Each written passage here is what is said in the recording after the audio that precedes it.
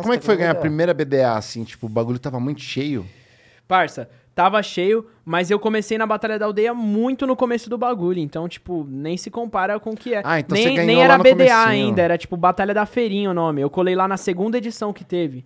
Não tinha nem caixa de som no bagulho. Tipo, mano, foi absurdo. Tinha nem o Lucão filmando Tipo, ainda. é, não, nem filmaram. Tipo, foi da hora, ganhei, só que na época eu já tava colando pra várias. Então foi, tipo, só mais uma ali que eu ganhei, foi da hora o momento, mas, tipo, não Ah. foi aquela parada que eu lembro pra caramba, assim, porque não tava muito no começo ainda. Depois que o bagulho foi, foi ficando mais foda e mais foda e mais foda. Qual, que, qual que você queria mais ganhar, assim? Você falou, cara, esse eu tenho que, mano, eu vou com sangue no olho nessa porra. As aqui. que eu mais queria ganhar foi a, foram as batalhas de fora de São Paulo, né?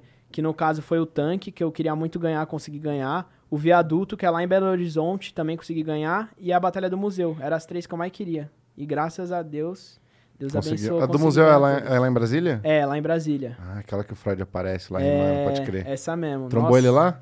Mano, quando eu colei pra Brasília, eu não, não trombei o Freud, ele já nem rimava mais. Já tava famoso, já tava né? famoso, Famoso desde estourado. 2014, ele fala. Estourado, é.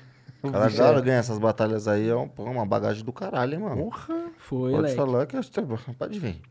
Pode vir qualquer um que eu tenho todas, não tem essa, Só né? eu e o Cris de Belo Horizonte, que foi os dois únicos que ganhou. As Aí, quatro imagina- maiores do Brasil. Cris MC? É. Imaginei Tinha que Só nós que poucos. ganhou as quatro maiores, parça. Não sabia quantos, imaginei poucos, mas não sabia que era tão poucos assim. hein?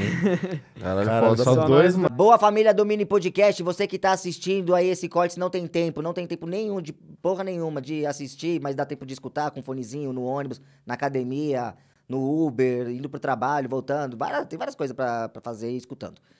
Então você vai lá nas nossas plataformas de áudio e colo- coloca lá o Mini Podcast que vocês vão encontrar esse capítulo inteiro. Boa!